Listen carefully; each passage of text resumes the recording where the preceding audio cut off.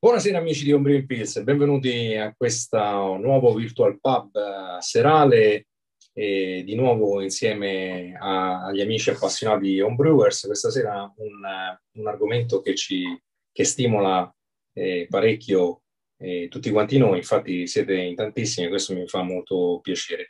E come al solito faccio la, la dovuta raccomandazione che stiamo registrando, quindi eh, chi non intende comparire nella registrazione che poi verrà messa sul nostro canale YouTube, al quale vi invito a iscrivervi, a iscrivervi se non l'avete ancora fatto e a spuntare la campanellina per rimanere sempre aggiornati su tutti i video e deve tenere disattivata la eh, videocamera. E come sempre eh, ci apprestiamo questa sera su, su diciamo così, su idea di un amico eh, del, del, Virtual Pub di Daniele che ci ha detto perché non parliamo un po' eh, di ossidazione. Parliamo eh, molto volentieri di ossidazione, ovviamente è un argomento eh, diciamo molto sentito, soprattutto da quando mh, si è cominciato un po', molti homebrewers hanno cominciato a lavorare anche eh, con la contropressione. Eh, ma non è solo di questo che eh, vogliamo parlare, cercheremo di andare un po' per, per gradi, io vi, vi lancio giusto eh, gli argomenti, poi eh, ci confrontiamo su quelle che sono le nostre pratiche e, e i nostri processi produttivi. E come ben sapete, l'ossidazione appunto nella, nella, birra è un difetto che spesso viene riconosciuto eh, come cartone, eh, diciamo un vino eh, liquoroso, porto, sherry, ma anche metallico, molti altri descrittori e può derivare da diversi eh, diciamo, errori in fase produttiva.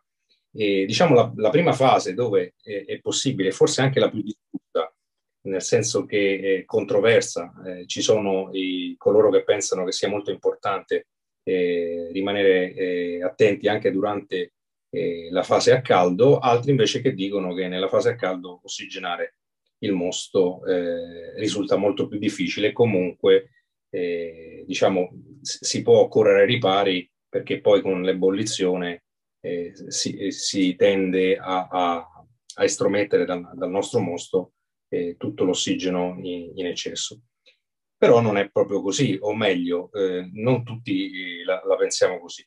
Quindi ecco, il primo mh, punto di riflessione è questo. Parliamo dell'ossidazione a caldo, quella che eh, riporta un po' i sentori eh, più comuni di cartone e quella che interessa, vado a leggere sempre il magnifico libro Per fare la birra in casa di Ruggero Antonelli, dei nostri amici, eh, che è sempre pieno di spunti interessanti e mh, eh, in questo caso parla di conseguenza dell'ossidazione di lipidi, cioè quindi degli acidi grassi eh, e nello specifico, ancora più specifico, l'acido linoleico del malto. Questo avviene quando praticamente si splascia il mosto, si, si, si trasferisce magari il mosto da un contenitore all'altro per proseguire nella produzione e, e lo si fa appunto facendo, facendo entrare grandi quantità di, di, ossigeno all'interno del mosto caldo. Su questo primo punto eh, discutiamone perché in effetti eh, qualcuno pensa che invece sia poco importante, qualcuno ci dà poca importanza anche eh, con eh, l'avvento degli AIO eh, è spesso dibattuto il fatto che il ricircolo eh, qualcuno lo fa eh, lasciando la caduta del mosto dall'alto senza aggiungere un tubicino, diciamo che finisca nel, nel letto di trebbio o comunque al di sopra del letto di trebbio del mosto, senza quindi splasciare, e invece chi non se ne cura. E vorrei cominciare da, da, questo, eh, da questo punto. Ossidazione a caldo. Come, eh, non so se volete alzare la mano, se, eh, se volete intervenire liberamente, fate, facciamo come meglio crediamo. Come sempre siamo eh, tra amici al Virtual Pub e quindi confrontiamoci serenamente e, e con simpatia.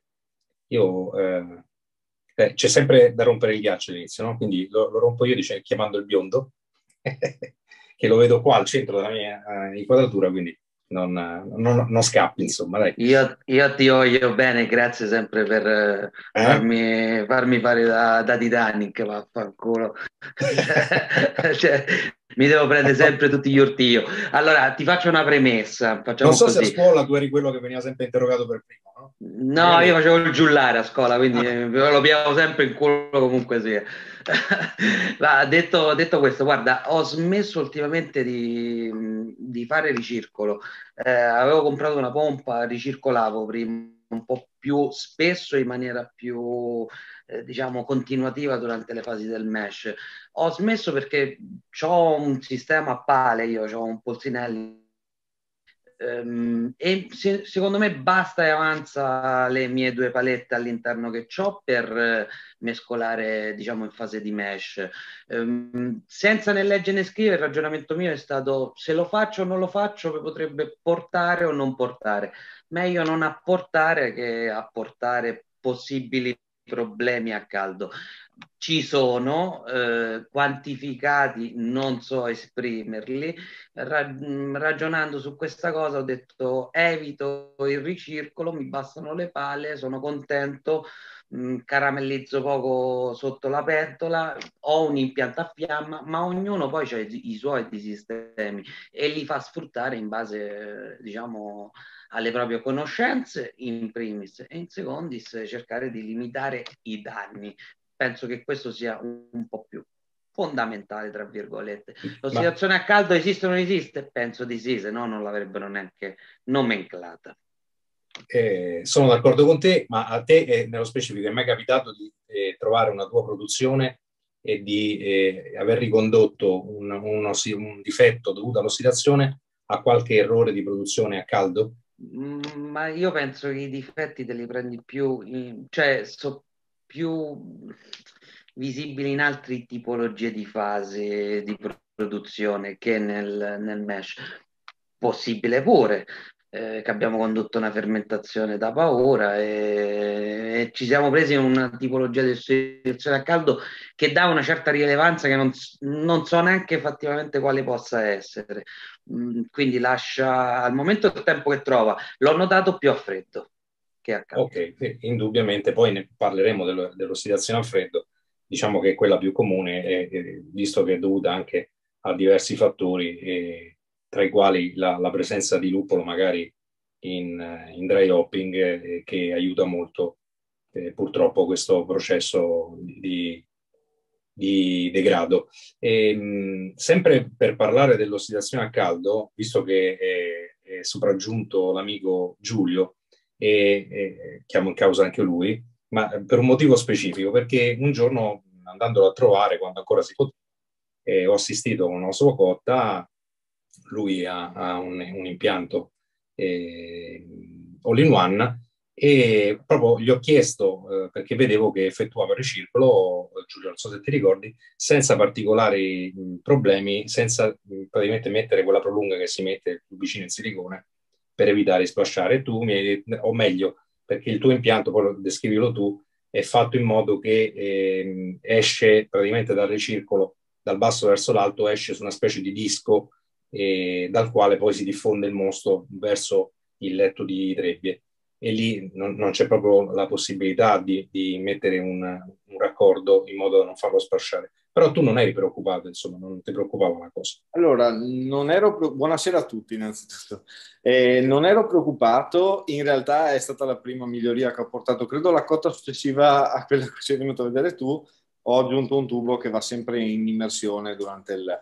In realtà non, non, eh, non posso dire che non credo all'ossidazione a caldo perché ci sono prove scientifiche che dimostrano che un minimo di ppm di ossigeno si disciolgono anche a temperatura eh, più alta. Non ho mai riscontrato problemi per questo, ma visto che non costava niente, anzi in termini anche di pulizia è più pulito, anche il mosto eh, diciamo ricircola meglio perché non crea schiuma e quindi eh, vedi meglio la limpidezza, chiamiamola così, eh, ho, tu- ho messo il tubo immersione. Quindi in pratica ricircola, ma ricircola sotto il livello del mosto. In realtà io l'ho fatto per il primo motivo era per la schiuma, perché una delle cose che credo è che eh, più schiuma si fa durante il processo e meno schiuma avremo dopo nel bicchiere. Anche qua si potrebbe parlarne una serata, però eh, diciamo che eh, usare la, la, ehm, la struttura proteica che forma la schiuma, usarla prima è un peccato, mettiamola così. Eh, meglio tenersela buona per, per, per, dopo. Poi c'è il discorso di ossidazione a caldo che però a me sinceramente non, non ha mai dato problemi prima, quindi l'ho, l'ho, fatto più per scaramanzia da quel punto di vista che non per altro, comodità. Quindi sono... Anche perché giustamente, come dicevi tu, e come dici tu e come dicevo anche io, non costa niente fare delle piccole modifiche sì, sì, a costo zero, però toglierci anche il, il dubbio che, po- che si possa insomma in qualche modo deteriorare il, il nostro mostro. Ma eh, vi chiedo, mh, in una ipotetica um, ossidazione del mosto a caldo che abbiamo fatto per un errore produttivo, eccetera, eccetera, quindi abbiamo detto si parla dei lipidi, eh, dei, grassi eh, acidi eh, contenuti all'interno del mosto che si ossidano, che tendono ad ossidarsi al contatto con l'ossigeno, ma eh, questo errore eh, è mh, rimediato poi successivamente dalla bollitura del mosto, cioè si riesce a riportare il mosto a un livello, diciamo, a, a, correggerlo da quell'errore che abbiamo fatto, oppure una volta fatto quel tipo di errore li rimane e ce lo teniamo? mi permetto di fare una parentesi per, per, motivi familiari, visto che eh, ho una bambina piccola, ho fatto due cotte di prova eh, facendo l'ammortamento una sera e la bollitura la sera successiva. Quindi un po' come si fa nel kettle souring, ma senza il souring. Una sera, una cotta, ho provato, ho, ho tenuto il mosto, non datemi del pazzo, alla temperatura eh, costante di, di mash out, quindi a 65 gradi per tutta la notte e ho ripreso il giorno dopo. La volta successiva invece ho provato, eh, finito il mesh out, ho lasciato raffreddare, ho spento tutto e ho ripreso la, la sera successiva. Ehm, in entrambi i casi l'ossidazione era fotonica, perché poi ho parlato con un, eh, con un collega che è molto più tecnico di me dal punto di vista eh, chimico, praticamente il mosto a, ca- a, caldo c'è una bassissima ossidazione, cioè un liquido a 75 gradi ha un discioglimento dell'ossigeno bassissimo. E la cosa che imprigiona un sacco di ossigeno è il riscaldamento e il raffreddamento. Quindi nel momento in cui si ha un liquido che continua a scaldarsi e raffreddarsi, eh, in quel momento l'ossigeno inizia a disciogliersi in modo veramente estremo e posso garantire che era, le ho buttate via. Sono state due prove per, per, vedere se riuscivo a fare le cotte la sera dopo il lavoro senza perdere tempo con mia figlia dopo che andava a letto. E quindi il, l'ossidazione a caldo esiste, c'è. Eh, il mio dubbio è che in una, in una, normale cotta con un semplice mesh out e poi si va in boil, no, i ppm di ossigeno sono irrilevanti. Poi quindi, quindi hai risposto alla mia domanda dicendo se ho fatto un errore madornale in fase di mesh, l'ebollizione non, non me la ripara. Esatto, la... quello volevo dire. Cioè, sono, sono sceso nella sala cotta e ho sentito un odore terribile proprio di cartone e tra l'altro anche un po' di, di yogurt perché ovviamente come sappiamo se non pastorizza perfettamente i lattici nei grani lavorano e, e l'ebollizione, sì, la bollitura non ha risolto proprio niente è un ottimo esperimento, vedi, con questo, con questo esperimento ci ha insegnato che comunque, primo, l'ossidazione a caldo esiste, secondo, un errore in fase di mesh, un grosso errore in fase di mesh non può essere riparato con, con la, perché ovviamente con la bollitura poi eh, l'ossigeno tende a fuoriuscire dal mostro, ma evidentemente, eh, come dici tu, se eh, rimane intrappolato in fasi precedenti in grandi quantità, poi non ce la fa. Beh, io non so se c'è qualche altro intervento riguardo, riguardo questo. Chris, vuoi... Ah sì, ok, vedo la mano alzata. Vai, vai, vai. Aspetta, no, eh, non c'è il microfono acceso. Riprova. Ecco, mi sentite? Perfetto. Ok, eh, niente, eh, c'è un'altra cosa che può creare l'ossidazione a caldo e ne ho parlato con un birraio perché mi ha detto che gli è successo anche in birrificio e in alcuni stili può essere un problema, è che potrebbe anche variare il colore della birra, ovvero la birra potrebbe scurire per l'ossidazione a caldo. Tra l'altro tende ad assumere una tinta rossastra.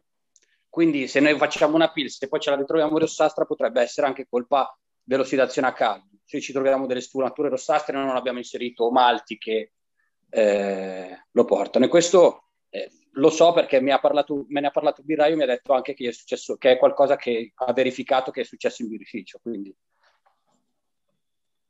Ok, sì, io leggevo sempre qui dalla stessa fonte che ho menzionato precedentemente che il cambio, eh, il virare di colore, eh, diciamo, è, è, più ricondotto a un'ossidazione a freddo del, del, diciamo, della parte del, del, luppolo, diciamo così.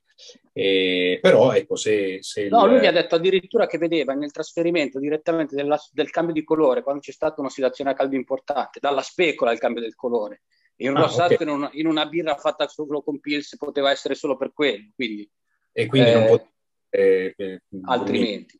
Mm-hmm. Non poteva succedere un altro momento. Quindi, quindi anche nello stile, questa è un altro, uh, un altro diciamo, informazione importante, anche nell'ossidazione a caldo la birra può eh, assumere delle, delle, tonalità di colore più, più scure e quindi è, è, un, è anche questa un'indicazione.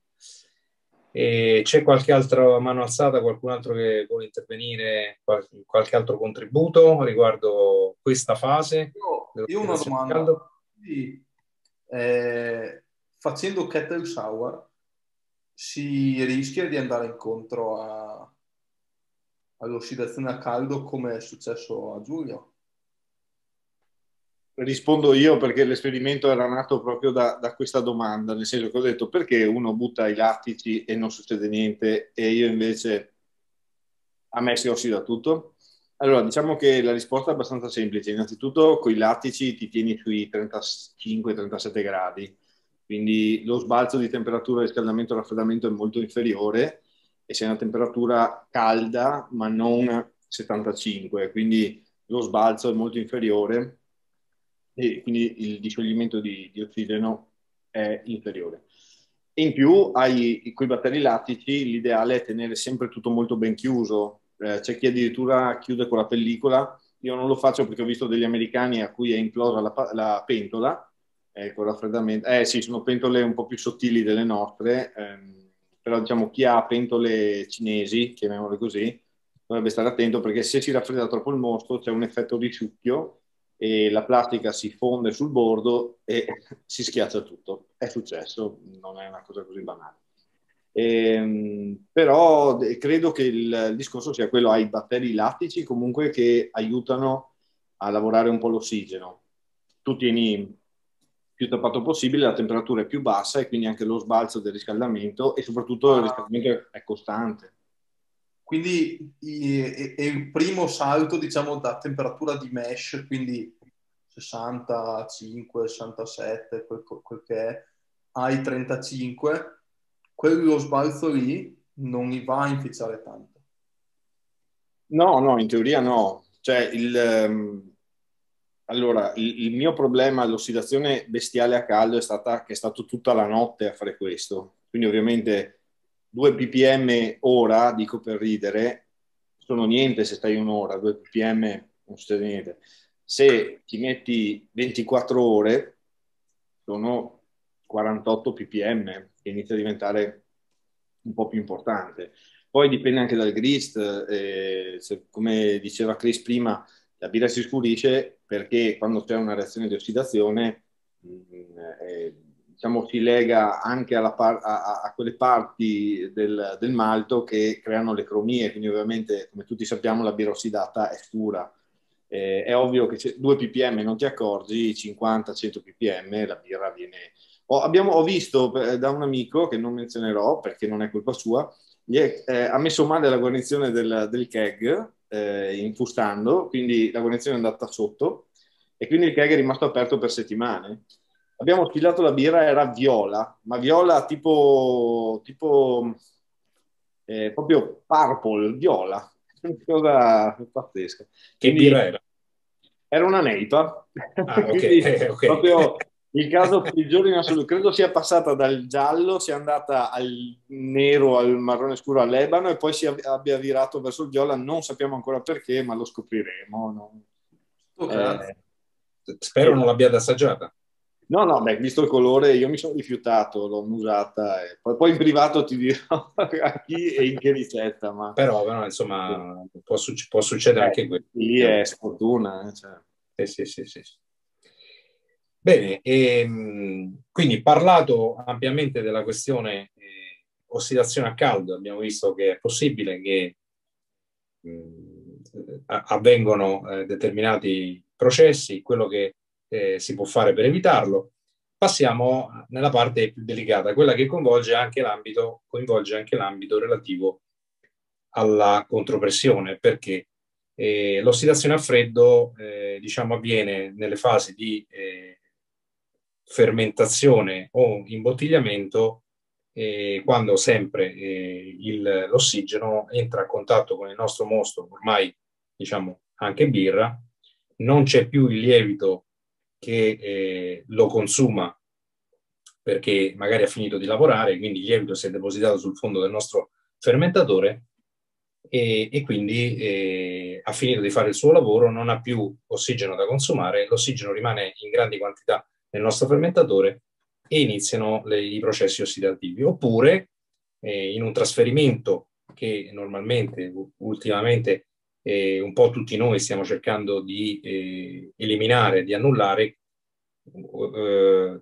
trasferimento che ricordo solo qualche anno fa, il trasferimento fra il primo fermentatore e il secondo era un'operazione consigliata eh, dai, dai più, da tanti. Ora eh, è sconsigliatissima, a distanza di qualche anno tutti quanti noi la sconsigliamo, a meno che non si abbia la possibilità di farlo in contropressione, quindi in assenza di ossigeno, dove nel fermentatore nel contenitore eh, ricevente eh, si sia saturato eh, con, con, CO2, proprio per evitare al massimo la possibilità che la birra vada a contatto con il gusto. Ovviamente il, il binomio assolutamente da evitare è ossigeno-luppolo perché eh, i composti aromatici del luppolo eh, tendono a ossidarsi eh, molto velocemente. E, e quindi da lì eh, sono venute insomma tutta una serie di procedure, soprattutto per eh, stili come quello che eh, menzionava prima Giulio, eh, la Neipa, dove si, si, evita assolutamente di rifermentare, quindi di dare la possibilità all'ossigeno di rientrare a contatto a, a fermentazione ultimata e si preferisce fare una carbonazione forzata o, o una, una, una fermentazione in contropressione.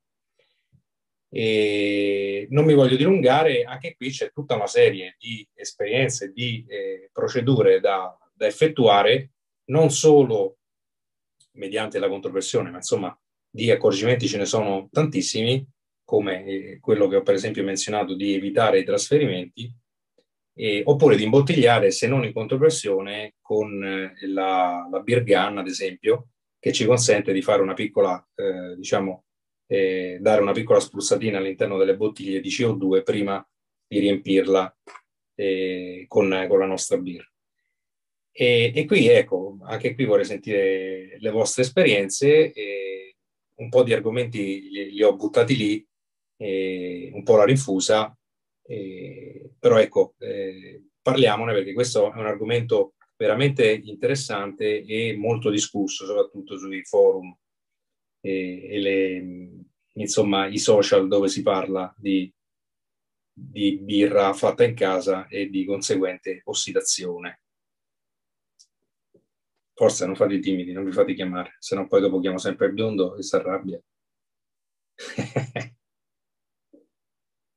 chi, chi, vuole, chi, vuole, intervenire a, questo proposito? Che, che procedure utilizzate per evitare di... Vai Giulio, vai. Gianluca, eh, approfitto, ti, ti, avevo detto ma... questa sera, eh, già sono logoroico di me. Ma io sono contentissimo, sicuramente hai cose interessantissime. No, io dico, no, interessantissime non so, io vi riporto le mie esperienze, ehm, che è, questo è anche un consiglio, perché io ho sempre insufflato i fusti eh, vuoti eh, per riempirli di birra, li riempivo di CO2 spiattavo, riempivo, spiattavo, così pensando che l'ossigeno venisse spinto fuori dalla CO2, perché sappiamo che la CO2 è più pesante dell'ossigeno e quindi in teoria va sotto e spinge fuori.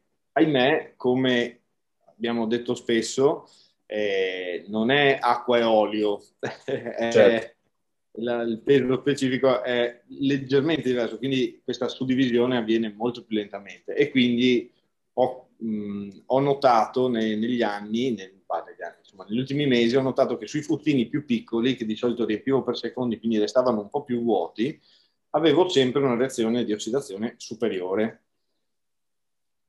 Stupato della cosa, ho provato la tecnica, quella del riempimento con acqua sanitizzata, chiamiamola, e, e spurgo completo in spinta di CO2. Sinceramente non ho, non ho, notato un consumo di CO2 molto superiore, perché alla fine fra quattro spurghi in pressione e spingere fuori un fustino pieno, alla fine siamo lì. E, però posso confermarvi che il risultato adesso è perfetto, cioè, a prescindere da, come, da quanto riempio il secondo fusto, eh, perché non sempre eh, sulle Neipa spurgo, purtroppo, ahimè, un sacco di birra, quindi non riesco a riempire anche il secondo fusto del tutto, eh, sto notando una perfetta corrispondenza tra il fusto pieno e il fusto vuoto. Quindi... Che tipo di fusti usi? E i Jolly, sì, i Cornelius. Diciamo, io uso gli AEB perché adoro quelli, però insomma chi prende i Pepsi e quelli similare. Insomma. Riempio, anche perché abbiamo la fortuna di avere la, lo sportello di ispezione che è superiore alle valvole. Quindi se tu riempi di liquido sanitizzato fino a lì e metti il tappo, per forza di cose è tutto pieno. Non so se mi spiego. Ok, sì, sì, sì. Quindi Ma si può anche pensare, ah, ok, per non sprecare troppa CO2 pensavo di, io lo faccio perché ho dei piccoli keg da, da 3 da 5, lo faccio sempre in spinta di CO2 fino a quando non mi esce dalla valvola gas e quindi sono sicuro che sia tutto pieno. Ah, sì, però la valvola gas, almeno sui Cornelius, hai, hai un 5 cm dall'alto, sì. il che significa che potrebbe esserci rimasto dell'ossigeno. Poi dipende sì. quanto malati siamo. Io mi ero rotto le scatole di avere il fustino da 9 che lo bevevo malvolentieri e aspettavo di finirlo per passare al 18 che invece era sempre perfetto, quindi mi sono rotto le scatole e spreco un po' più di CO2. E... Ok. Eh, sì, eh, dico la mia a proposito sempre dei fustini, quindi della possibilità di eliminare quanta più ossigeno possiamo. Io non ho, i, ho no, non mi ricordo come si chiamano, sempre con attacchi jolly, però tutti nella testa eh, centrale, quindi non i Cornelius, quei piccoli gag da 3 da 5 litri, insomma, con la testa... I Balloc. Con i Bollock, sì.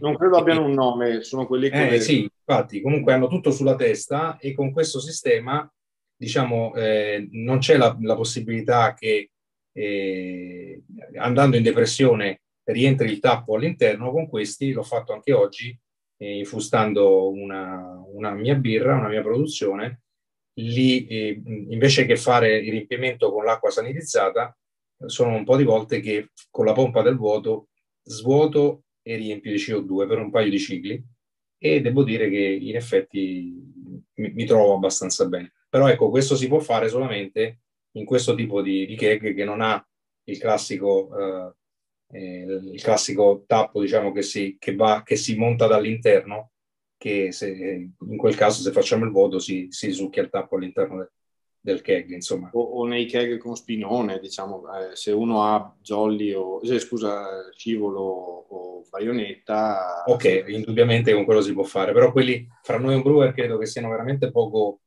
eh, usati perché non sono ispezionabili sono difficilmente smontabili, per lavarli è un po' eh, complicato, quindi, quindi siamo, penso che siano i pochi veramente a, ad utilizzare quel tipo di, di, di keg lì, di, di fusti. E, ehm, sì, però eh, rimane anche il fatto dell'imbottigliamento, quindi volevo capire da voi eh, come eh, procedete per eh, limitare al massimo l'ingresso di ossigeno, sempre che non si rifermenti, perché poi sappiamo che eh, durante la rifermentazione c'è appunto i lieviti ripartono, ricominciano a, a, a, consumare ossigeno, quindi diciamo che da quel punto di vista siamo più eh, salvaguardati.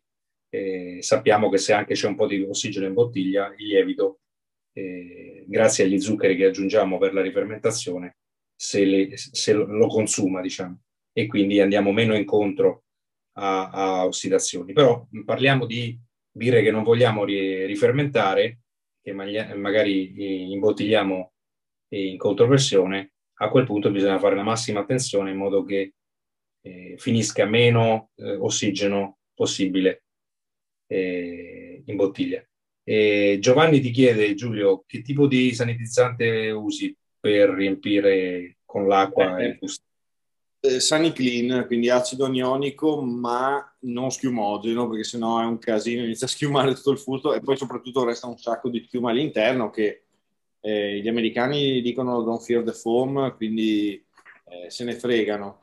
In realtà, insomma, eh, Sunny Clean è, è, lo stesso identico principio attivo eh, e non fa schiuma, quindi lo preferisco. Anche Damiano è di questa scuola, anche lui è una bella schiumata. E, e, non è ossidante come prodotto, dovrebbe. No, dovrebbe, dovrebbe. L'acqua sì, eh. No, diciamo che ecco, c'è il Veri Malati, c'è un forum di tedeschi veramente con dei problemi che eh, deossigenano, eh, deossigenano l'acqua perché hanno dei, ha dei tipi. Ecco, il biondo è senza audio, ma ha espresso perfettamente ah. il mio pensiero.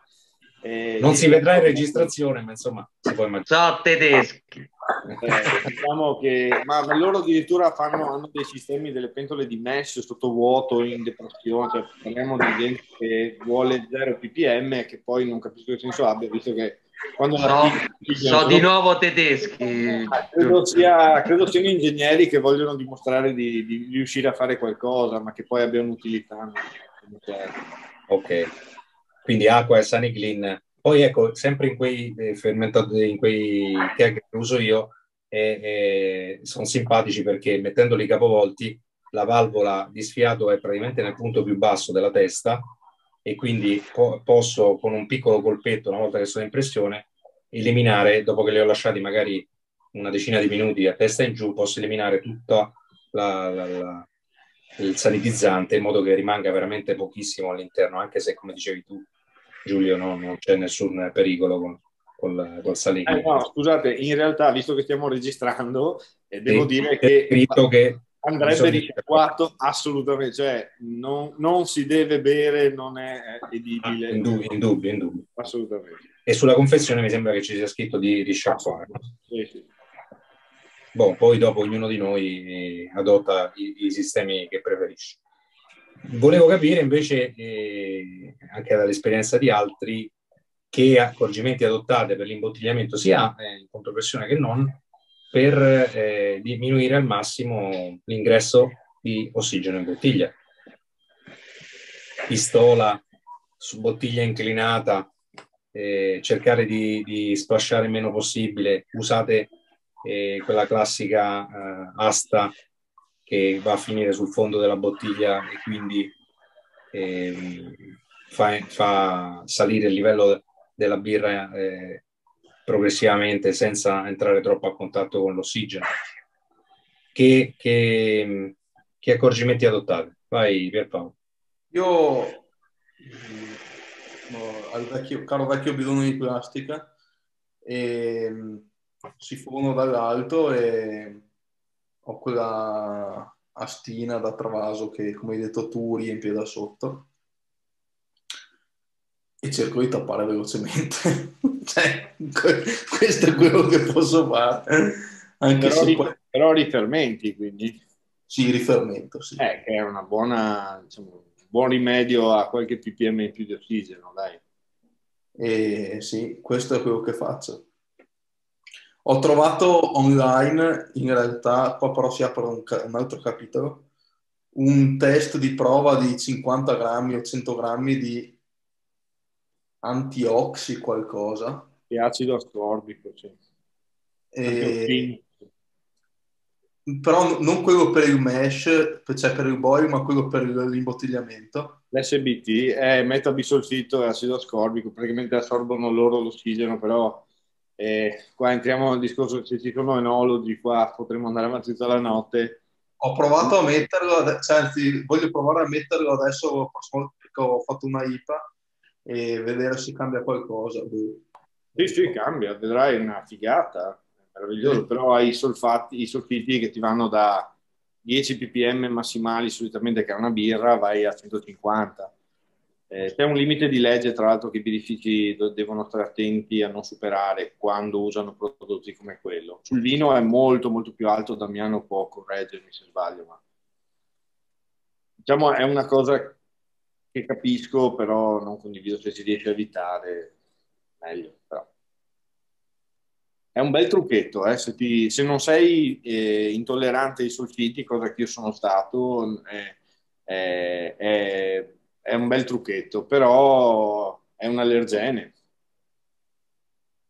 Non capito. E a livello, a livello mh, gustativo è percepibile anche in basse quantità?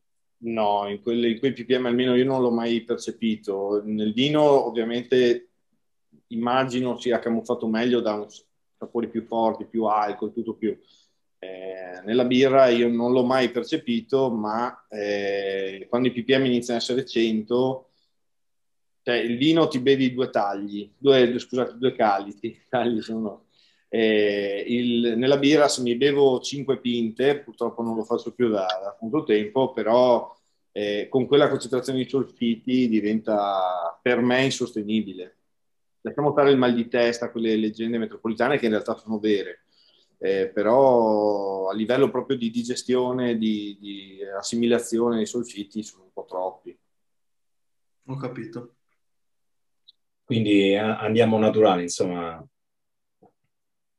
E Dario parla di eh, riempire le bottiglie fino all'orlo quando si va in rifermentazione. Non so chi altro adotta questo sistema. Eh, a me sinceramente non piace molto vedere la bottiglia riempita fino all'orlo, però in effetti è, è un, anche questo è un buon rimedio per cercare di, di lasciare meno ossigeno possibile in bottiglia, no? Dario, dove sei? Non ti vedo. Ecco. No. Sì, ecco. sì, sì. Eh, io rifermento anch'io come Pierpaolo, eh, però invece di pescare dall'alto dal, dal fermentatore mi attacco al rubinetto direttamente sul, dal fondo, dopo aver travasato ovviamente e le riempio quasi fino all'orlo. Sì. elimini un bel po' di, di spazio che, dove ci può essere dell'ossigeno che poi viene eliminato da, dalla rifermentazione. Eh, scusa che faccio l'avvocato del diavolo e nel trasferimento, cioè nel, nel travaso di cui hai parlato, l'ossigeno? Eh, quello con la stina, quella solita dal fondo, eh. Eh, Così posso fare. No, non è il problema da dove prelevi, il problema è dove, dove versi, è quello il grosso... Sì, sì, sì, infatti, infatti. Sarebbe meglio, cioè, boh, io so, sono sempre stato, anche quando ero un neofita, veramente babbeo, facevo errori terribili, quella del travaso l'ho tolta subito, ve lo consiglio, perché meglio prelevare come fa Pierpaolo dall'alto in un, in un fermentatore pieno di morchiazza che non mm. travasare, secondo me, eh, perché notavo appena si esagerava con lo splash, cioè venivano risultati molto incostanti, quindi... Eh, però con la rifermentazione dopo è uno sbattimento con la siringa a mettere lo zucchero per ogni bottiglia. E io invece lo metto in una volta solo e sono a posto. Mia moglie ha detto sì da dietro. ah, ecco. Perché era, una delle, era la predestinata a fare con la siringa. Eh sì. Eh, infatti è felice che sono passato alla contropressione perché si è tolto il problema. E... No, qualche, qualche, qualche, produzione si continua a fare non, non, andando in contropressione e quindi una bella sparapolli e, e passa la paura. Eh, ma la trovi? Sai dove trovarla? Io non l'ho più. Io ne ho presa una su Amazon, funziona benissimo.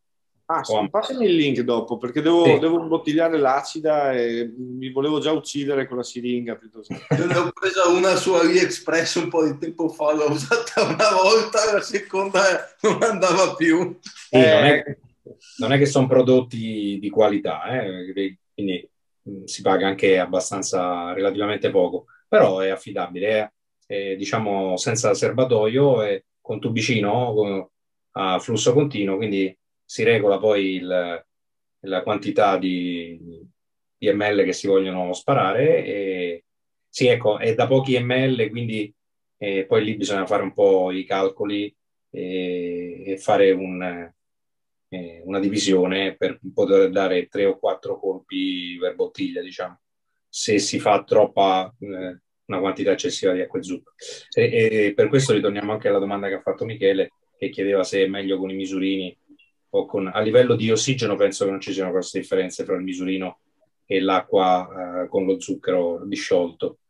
E probabilmente è più pratico il, di sciogliere l'acqua, o meglio, poi eh, c'è anche chi si trova bene con i misurini, però il misurino poi bisogna prenderci la mano perché se si vanno a fare i calcoli per bene delle, dei volumi di CO2 che si vogliono ottenere, i misurini non, non sono indicativi, insomma. Eh, o meglio, io fin quando ho usato i misurini, quelle poche volte che le, eh, le ultime volte che li ho usati tanto tempo fa, utilizzavo sempre il misurino più piccolo per la bottiglia di, di volume più grande, perché altrimenti venivano berro. Esattamente, Girgiuzzo è stato come la corazzata Potionkin, che la corazzata Potionkin è una cagata pazzesca, lui ha detto che il misurino è giusto, cioè, c'ha ragione, condivido, perché beh, a prescindere dal fatto che le birre non possono essere carbonate tutte allo stesso modo, e, perché ogni stile deve essere carbonato a, con, il, con, il, suo livello di, con i suoi volumi di CO2, eh, poi col misurino non sappiamo mai quando, quando, quanto ne mettiamo. E ho due mani alzate ed arrivo subito da voi e poi così concludiamo anche con l'ultimo argomento, perché poi c'è un momento in cui invece l'ossidazione è ricercata. Giovanni. Ok, buonasera ancora a tutti. Eh, io non so, mh, in questo momento sto come tu sai Gianluca cominciando con la contropressione, quindi ho solo acquistato il materiale, quindi vi ascolto con interesse, quindi non posso eh, dare il contributo della mia esperienza. Eh, finora io chiaramente con il secchio imbottiglio a, diciamo così, alla, per caduta.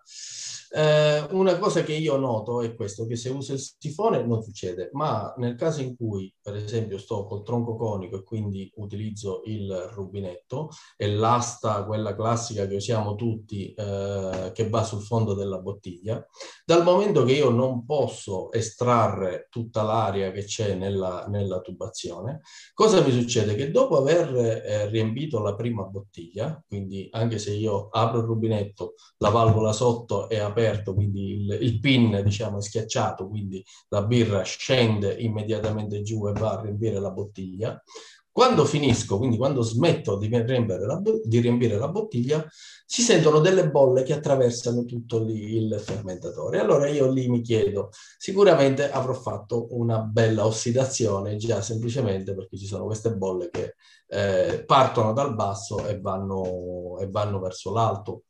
Eh, voi che ne pensate? Di, conse- di, contro, se io usassi un, un sifone, eh, dovrei aprire il coperchio parzialmente e quindi introdurre ossigeno nella birra.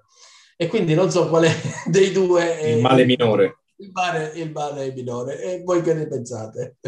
Mm, di questa cosa della, dell'asticella che, che fa risalire ossigeno mi, mi incuriosisce se qualcun altro è capitato e quale può essere il motivo. Pierpaolo, tu che usi lo stesso sistema, a te succede? Io, io uso il sifone e quindi apro sopra e via. Okay. Io penso che lui, avendo il tappo chiuso sopra, se ho capito bene, non, è un tronco conico, quindi magari chiude anche bene e si crea una depressione, quindi sale la, l'aria da sotto per compensare. Eh, giusto, potrebbe essere questo il motivo, Giovanni. Bisognerebbe togliere il tappino del gorgogliatore. Cioè... No, no, no, no, no. Quello, quello lo tolgo, quello lo ah, tolgo. Okay. Se no non scenderebbe la birra. No, il discorso è... Però, e allora non mi un'idea. Allora, eh... è, capita- è, capitato anche a me con l'asta da Travaso che deve risalire queste bollicine, specialmente sulle prime, prima, seconda bottiglia. Tutto... non è mai successo. Non so se dipenda, boh, magari c'è il tubo un po' vecchio che non chiude bene sul rubinetto, non so cosa possa... O la guarnizione sulla puntina che preme che non chiude perfettamente. Cioè, Massimiliano dice che può essere CO2. È l'anidride carbonica all'interno della birra che quando travasi comunque si, un po' probabilmente si abbassa la pressione e il gas esce. Ma si fa anche a me quando travaso quel, dall'alto. Cioè quel, si, poco, quel minimo... di anidride carbonica che c'è?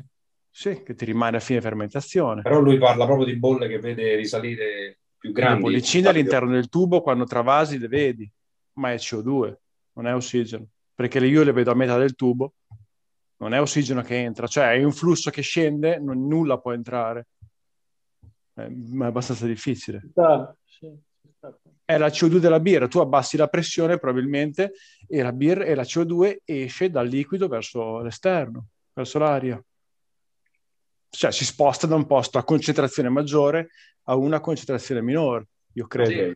Ho sempre pensato così. Io ho vent'anni che travaso dall'alto e, e, a volte capita che le vedo le, le, bollicine, ma le vedo a metà del tubo. Però okay. è, io penso che sia CO2, semplicemente, quindi non mi preoccuperei.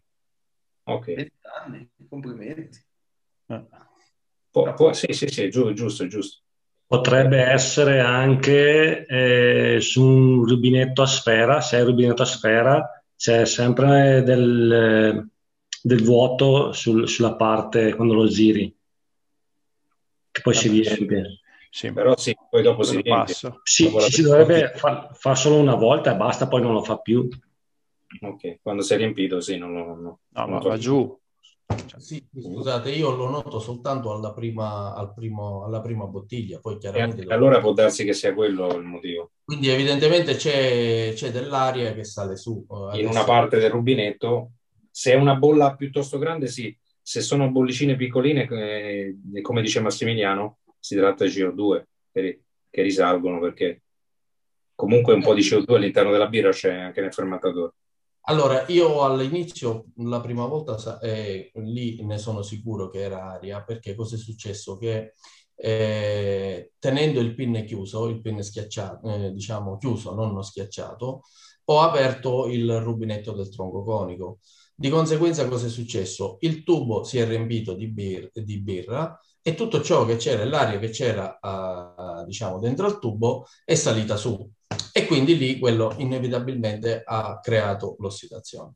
Nelle volte successive, comunque, io che cosa ho fatto? Per evitare questo problema, ho lasciato il pin schiacciato, quindi eh, eh, fondamentalmente il tubo aperto, e in modo tale che dal tronco conico uscisse tutta la birra e schiacciasse e spingesse l'aria verso, verso, verso fuori. Sì. Vers- esatto. Quindi quando ho, ho, dovuto, ho riempito la prima bottiglia, mi sono dovuto fermare, quindi ho richiuso il pin di sotto, quindi sì. ho alzato l'asticella.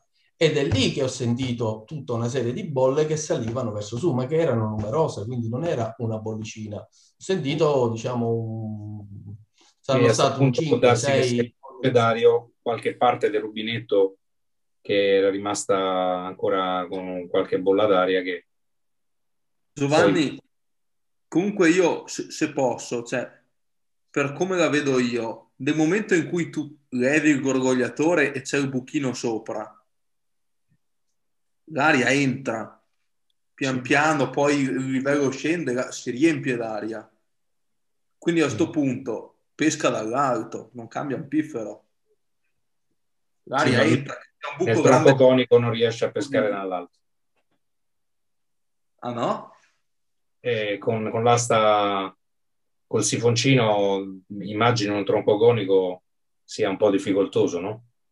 Ma prendi un maxi, vai giù, ti attacchi con la, con la clip sul con la clip, bocca. Sì, secondo me non è... più lunghi. Perché secondo me ti, ti elimini sbattimenti di rubinette, cioè, boh, non lo so, io lo vedo più semplice e anche un metodo per comunque tirare fuori birra più pulita in ogni caso stiamo comunque parlando di piccole eh, quantità di ossigeno che ovviamente se, se, lo facciamo in continuazione, se è una cosa che si ripete eh, in tutte le bottiglie vediamo grosse bolle che salgono, che ne so perché magari abbiamo un rubinetto chiuso male, eh, eh, stretto male e allora poi possiamo andare incontro all'ossidazione, ma se succede una volta e poi rifermentando, insomma, grossi problemi non ne dovrebbero essere se le birre non sono eh, molto luppolate.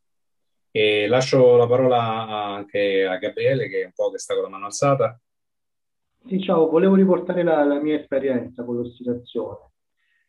Mm, in passato ho avuto molti casi di ossidazione, o poco, o tanto, eh, si ossidava. Io continuo a, a tra- facevo il travaso, quindi dopo la prima settimana circa di fermentazione passavo utilizzo un secondo fermentatore. Eh, nel, caso, nel caso tipo di IPA facevo il dry hopping e dopodiché ritravasavo di nuovo prima di imbottigliare.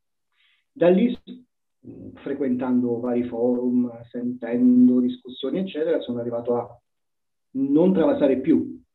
Quindi utilizzo il fermentatore iniziale, mi aiuto col, col crash per uh, far sedimentare e imbottiglio direttamente da, dal fermentatore. Lo faccio da rubinetto, ovvero ho l'asticina collegata a un pezzettino di tubo cristal che inserisco nel, nel rubinetto, eh, siringo la soluzione di, di acqua ed estrosio nelle bottiglie e poi riempio eh, lasciando eh, quel pochettino di spazio sul collo. Diciamo che ho ridotto tantissimo i casi di ossidazione. L'ultima che mi è capitata, se oscillazione si può chiamare magari una puntina, è, è una va e fatta che è, ha, ha un, legger, un, un, un, leggero colorino che non è proprio quel giallo delle, della Vice. Se la, se la, metto alla luce piena vedo che, che qualcosina ce l'ha, però il sapore comunque sia è, è accettabile. Ho, ho travasato per, per necessità ad ottobre un'intera produzione di IPA quella che ti, mi sa che te lo dissi anche che fece una IVA e ho trovato il, il boss, il boss Quake, che eh, al fondo aveva fatto praticamente, non ti faccio esagerazione, quattro dita di fanghiglia, aveva superato abbondantemente il, il rubinetto e, e l'antisedimento. Ho detto che faccio, spurgo tanto e pulisco oppure e imbottiglio oppure travaso o travasato e quella intera produzione è diventata fango in sapore. Praticamente è marrone. La birra è marrone in sapore, uno schiumone pazzesco, fa uno schiumone pazzesco, a gas, ma è in sapore, completamente in sapore.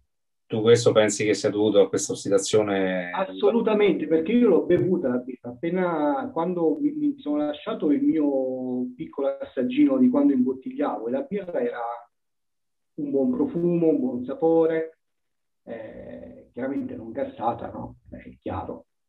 Certo. Quindi, mh, tranne questo ultimo episodio che mi ha confermato che non devo travasare, soprattutto con una, una luppolata. Non dobbiamo travasare, ormai il travaso è bandito fra gli ombrioni.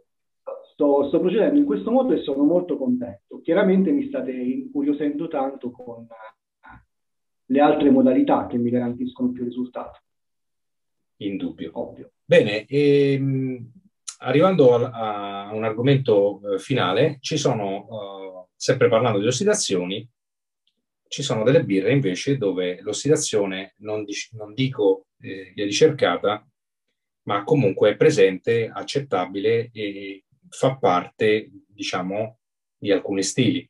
E qui chiamo in causa, vediamo un po' se c'è ancora, Marco, perché eh, ovviamente eh, in caso di lunghe maturazioni, magari anche in legno, eh, è logico, eccolo Marco, lo, ora lo vedo, è logico che eh, la birra a contatto all'interno di una caratella, all'interno di una botte, a contatto con il legno per, lung- per lungo tempo, 15-20 giorni, un mese, è logico che si, si ossidi. Ma sono birre, eh, diciamo, con un grado alcolico abbastanza elevato. Eh, sì, dicevo, parlavo di eh, Old Ale, Barley Wine o anche eh, Stout o Baltic Port. E in questo caso l'ossidazione apporta dei piacevoli aromi. Eh, eh, qui parla di vini fortificati come sherry, eh, Madeira o, o Porto. E qui chiedo, chiediamo insomma, eh, l'opinione di Marco che di, di elevazione in botte è sicuramente ben ferrato. Guarda, mi, aspettavo questa convocazione stile Matteo Biondo, proprio aspettavo questa, questa tua chiamata. No, niente, vabbè, anche lì ci sono delle accortezze da seguire, anche sulle, sulle botti, per limitare un po' l'ossidazione. Ovvio, la microossigenazione avviene sempre con, con le botti, soprattutto quando le botti sono nuove, poi dipende anche dall'essenza, eh, quindi dal legno con cui è fatta la botta. Eh, sicuramente se eh, mettiamo in botte una, una, birra dove vogliamo avere poco presente eh, i sapori che hai citato tu le, e i sentori che hai citato tu sul, su una determinata birra, sicuramente non la vado ad elevare in, in un castagno che magari traspira molto di più di un, eh, di un rovere. Oppure sicuramente lo andrò a mettere in, in, una botte di castagno che ha subito tantissimi passaggi perché poi i pori tendono sempre più a, a tapparsi, quindi diventerà sempre una botte più passaggi fa, diventerà sempre più a tenuta stagna, diciamo. Quindi già è un, un modo per limitare un po' questa microossigenazione che, che avviene in botte. Poi è ovvio, eh, giocare con le botti è, tutto lì, è, tutto gio- è giocare con, lo, eh, con la microossigenazione, quindi sicuramente se vogliamo una birra che non, non abbia questi sentori non la andiamo a mettere in un caratello, in una botte che sia. Certo, ottima, ottima spiegazione, grazie, queste sono considerazioni utili. Ma a questo punto ha senso un uh, imbottigliamento in contropressione da un caratello? Allora, eh, sicuramente, cioè io lo faccio rare volte, però ha, ha, senso perché sicuramente andiamo a limitare molto, di molto la, eh, l'ossigenazione della birra, perché un conto è l'ossigenazione, diciamo, ricercata o quella che ci aspettiamo eh, del passaggio in botte eh, e quindi non andiamo ad aggiungere ulteriore ossigeno eh, andando ad imbottigliare o ad infustare. Poi eh, stiamo parlando di birre comunque pulite. Nel caso di birre sour già è un altro, un è altro, un altro discorso, certo, certo. Eh. Indubbiamente. Bene, eh, io penso che insomma, l'argomento l'abbiamo sviscerato abbastanza bene, è stata come sempre una chiacchierata molto utile, però adesso eh, vado dall'originatore del, dell'argomento, da Daniele. E Daniele, eh, visto che c'erano alcuni dubbi, eh, c'è ancora qualcosa che secondo te eh, c'è necessità di chiarire? Abbiamo chiarito abbastanza tutti i dubbi? Qualche aspetto dici?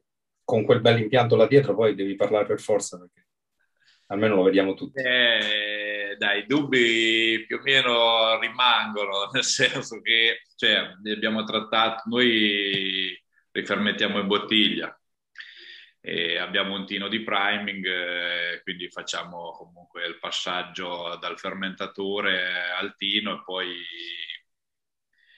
eh, insomma mettiamo la soluzione con lo zucchero, poi imbottigliamo.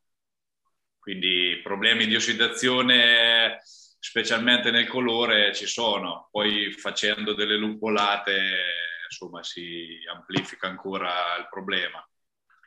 Diciamo e... che questo è il binomio che bisognerebbe cercare di evitare, no? Rifermentazione. Eh No, infatti ho proposto questa serata insomma, per capire meglio un po'. Poi adesso ci siamo attrezzati con un tronco conico, adesso non so, anche con la CO2 volevamo inventare delle cose, ma non lo so, vediamo cosa viene si fuori. può fare tutto, convinci il tuo amico di Co, il tuo socio di Cotte. Sì, ah, anzi, no. approfitto per salutarlo che in zona rossa non è, non è potuto venire qua. Che disgrazia. bisogna che, bisogna che ideate un condotto di CO2 fra le vostre case sì. A condividere eh, la, la, contropressione. Ho due mani alzate, Girgiuzzo. Eh, comunque, insomma, è stato interessante. Mi Grazie. Fa piacere, fa piacere. Vai Girgiuzzo. Posso? Ciao a tutti. Io volevo per tirare fuori un altro argomento, l'ossidazione delle materie prime, tornando all'inizio del, del, della ah, discussione. Bravo, bravo. Perché secondo me io vabbè, ho avuto problemi con un malto che ho preso su un sito, ho preso 25 kg e quei 25 kg lì non è venuto fuori niente di buono. E secondo me è arrivato un po' vecchio. e io nonostante macini il giorno stesso o al massimo 6 ore prima, 10 ore prima della cotta, non vorrei che buona parte dell'ossidazione arrivasse dalle materie prime. Il lupolo in primis va tenuto bene, lo sappiamo tutti, ma secondo me anche i malti possono dare problemi di ossidazione. Quindi tu hai fatto tutto bene, hai cotto senza splashare, hai fatto il travaso fatto bene, magari non hai neanche fatto il travaso intermedio, una contropressione io non ce l'ho, per cui non, non ho mai provato. Imbottigli bene eppure ossidata. Io sono diventato pazzo e sono arrivato alla conclusione parlando con, con altri amici homebrewer che probabilmente era quel sacco di malto lì era ossidato e quindi potevo fare tutto bene ma comunque sarebbe venuta una roba schifo ottima considerazione, ottimo spunto anche perché può succedere a tutti noi e quindi magari invece di fasciarci la testa sappiamo benissimo che una delle cause può essere anche la, eh, un lotto magari mal conservato o, o distribuito in ritardo di, un, di, una materia prima. Insomma. Cioè, 25 kg, Normalmente non succede.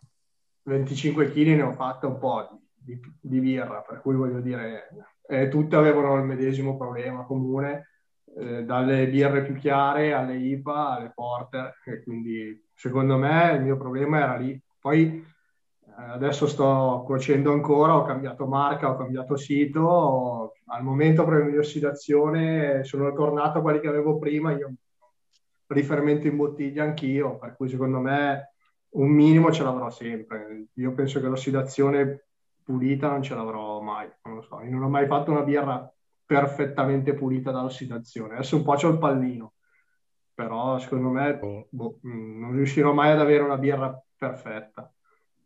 Beh, spero di migliorare, non so, vedremo. Sicuramente arriverà. Andrea, vai.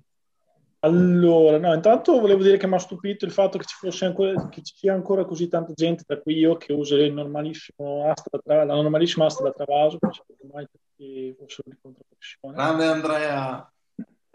Sì, teniamo botta.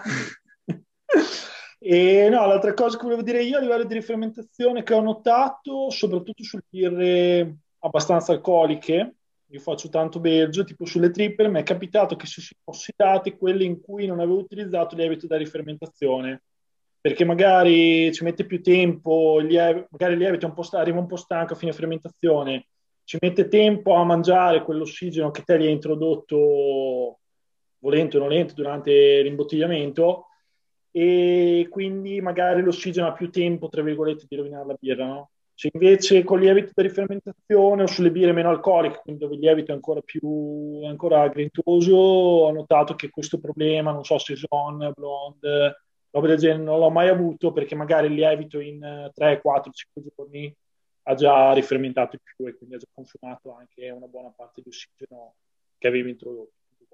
Solo fare questo punto.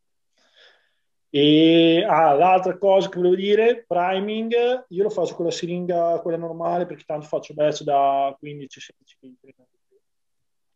E sparandolo un po' forte ti fa quella schiumina che ti permette di non riempire tantissimo, cioè di riempire a livello giusto la bottiglia senza arrivare proprio al tappo. E il priming sparato un po' forte, che ho fatto, non so se perché c'è un po' di schiumina sulla bottiglia, se te tappi subito il livello che ti rimane scoperto tra il tappo e la schiumina è veramente veramente poco, pur mantenendo la birra a livelli normali. Quindi tu metti lo zucchero dopo della birra? Sì, io metto la birra, riempio la bottiglia, poi c'è la soluzione di acqua e zucchero, misuro con la siringa facendo i conti, poi sparo un po', cioè normale, nel senso un po' deciso, fa un po' di schiumina e poi vado a tappare. Ma la domanda è, quella schiumina, le bollicine di quella schiumina, cosa eh. contengono? Questa è una bellissima domanda. Quella penso sia CO2 che viene Tu sperieresti CO2, lo so. Ah, scusate, posso dare un consiglio veloce che a me aveva cambiato la vita quando rifermentavo? Il, lo zucchero liquido di canna, il brown sugar, quello da cocktail. Sì.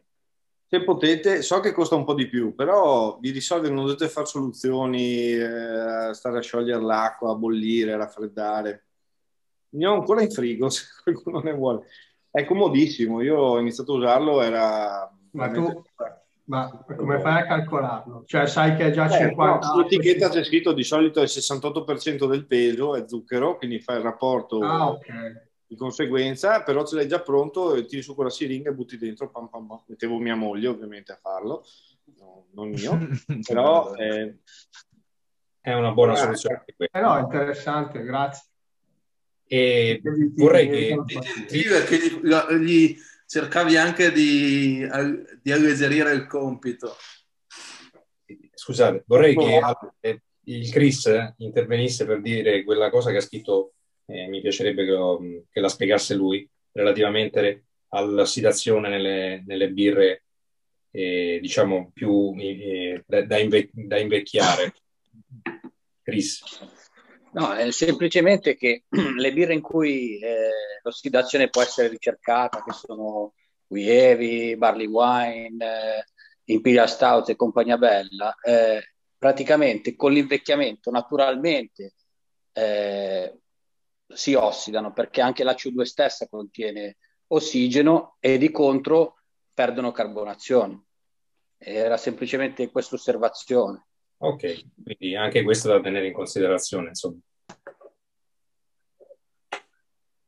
Bene, io adesso eh, Torno sul chiudo. punto della siringa. Eh, Perché lo zucchero dopo e non prima? Andrea, devi rispondere. non prima? Ma non so, ho sempre fatto così, ti dico la verità, non mi ero mai posto il problema di... L'ho sempre Non visto credo. come soluzione più pulita. Allora, ho sempre mh, evitato di mettere tutta la soluzione dentro il fermentatore, quella lì non mi è mai piaciuta come soluzione, perché l'ho trovato sempre impreciso. E per il resto, boh, l'ho sempre, l'ho messo dopo, non lo so, forse all'inizio avevo paura, tra virgolette, di con l'asta da travaso, non so, di portarti dietro, non lo so, sempre fatto così. Io sai perché faccio così? Anch'io faccio come te. Perché se tu metti la stina, lei ha un volume suo e riempi fino a qua. Quando tu la, cioè, ti sembra piena, quando togli la stina, cala il volume fino a qui. Vero. Aggiungendo dopo lo zucchero, recuperi parte dello spazio che la stina ha lasciato vuoto e vai a togliere dell'ossigeno. Anche È questo è un vero, buon- però io pensavo che spruzzando forte come fa lui butti dentro ossigeno. No, io non spruzzo dentro forte, io la metto semplicemente dopo per recuperare dello spazio vuoto che l'asta da travaso lascia inevitabilmente vuoto. Perché lei ha un volume no, che, che è nella bottiglia. Quando tu la togli, il volume cala e lo vai a colmare con la soluzione di acqua e di zucchero. acqua e zucchero. Invece la, la componente tempo, cioè tipo cerco di far, metto lo zucchero prima così tappo più velocemente, non c'entra un cazzo.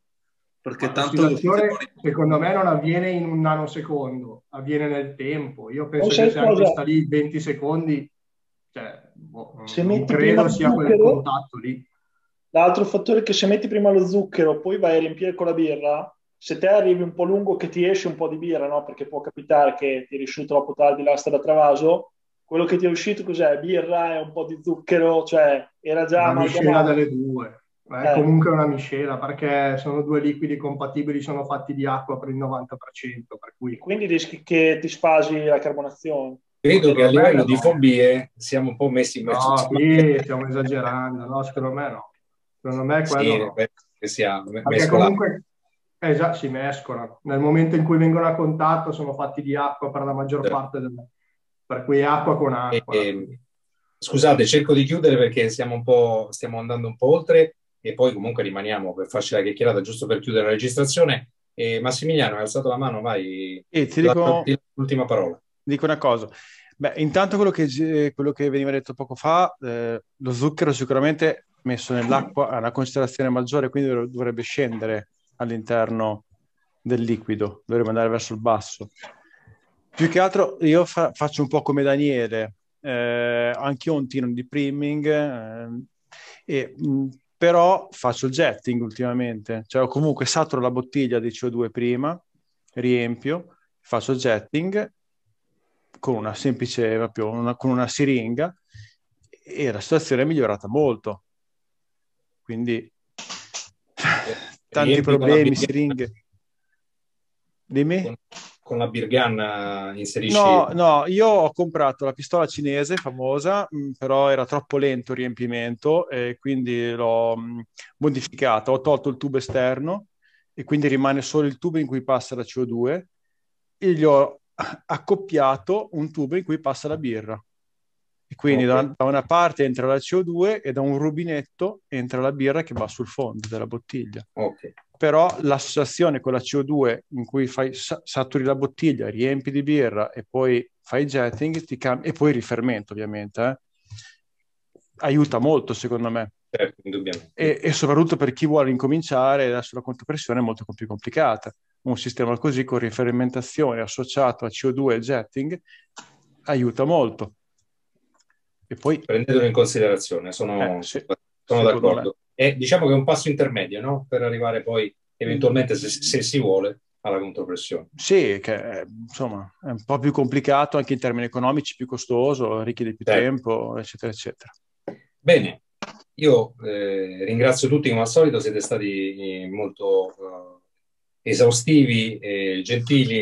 Eh, abbiamo parlato di un argomento piuttosto dibattuto, ma l'abbiamo fatto eh, in maniera molto ordinata, fra l'altro stasera mi fa molto piacere e quindi io mh, mm, chiuderei la registrazione. Volevo sfidare la sorte facendo fare una recensione della birra che sta assaggiando il biondo, che, è la mia Hailey che ho chiamato, però lo faremo dopo, così eh, non sei condizionato dalla registrazione e mi devi dire per forza che è buona, così mi puoi insultare per bene a registrazione ultimata. ringrazio tutti quanti e una buona serata e con gli amici che hanno il box eh, ci vediamo mercoledì per la quarta degustazione insieme a Damiano che è qui con noi anche stasera. E, mm, per gli altri invece venerdì prossimo se fate eh, come ha fatto Daniele che suggerite eh, argomenti interessanti come quello di questa sera eh, ve ne sono grato e ne parliamo insieme molto molto eh, volentieri. Grazie e buona serata a tutti.